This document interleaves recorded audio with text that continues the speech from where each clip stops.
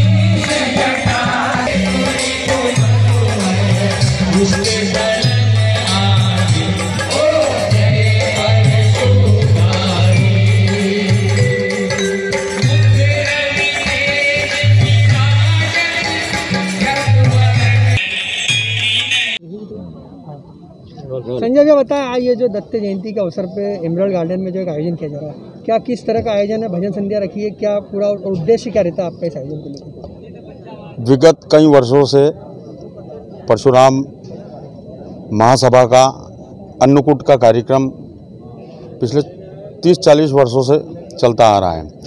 और योग संयोग ऐसा जमा कि आज दत्त दत्त जयंती भी है। दत्त जयंती पिछले कई वर्षों से हम पालकी यात्रा उसकी निकालते हैं, पर कोरोना महामारी को देखते हुए। और इन सब चीज़ों को सरकार की तरफ़ से भी हमको ज़्यादा लोगों की अनुमति नहीं थी। इस कारण पालकी यात्रा का हमने प्रोग्राम को जो है पालकी यात्रा जो निकालते हैं, उसको नहीं निकाला। और उसकी बजाय हमने यहाँ परशुराम महासभा का अन्नकूट महोत्सव भी हमको करना था। और दत्त जयंती के अवसर पर आज हमने यहाँ पर छप्पन भोग का कार्यक्रम रखा है। उसके पश्चात प्रसादी वितरण का कार्यक्रम है। हमारी परशुराम महासभा के संरक्षक माननीय भंवर शर्मा जी पंडित अश्विन जोशी जी पूर्व विधायक आप सभी के नेतृत्व में ये कार्यक्रम वर्षों से हमारा चलता आ रहा है। परशुराम महासभा की ओर से जो एक आयोजन आज होना जा रहा है और दत्त जयंती का पावन अवसर आज आया है इसको लेकर क्या कहना चाहेंगे? परशुराम महासभा ब्राह्मणों की सबसे पुरानी संस्था है।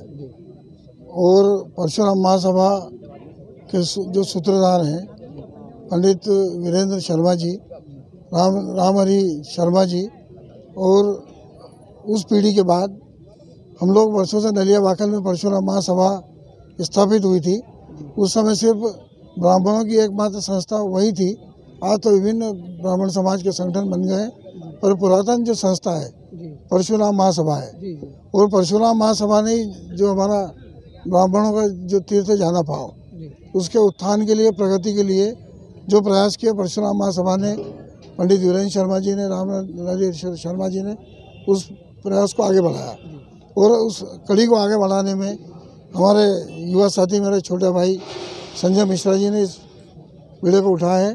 तो निश्चित रूप से परशुराम महासभा ब्राह्मणों की एकमात्र संस्था है, जो ब्राह्मणों के हित के लिए, समाज के हित के लिए और ब्राह्मणों के उत्थान के लिए ये सोचती है।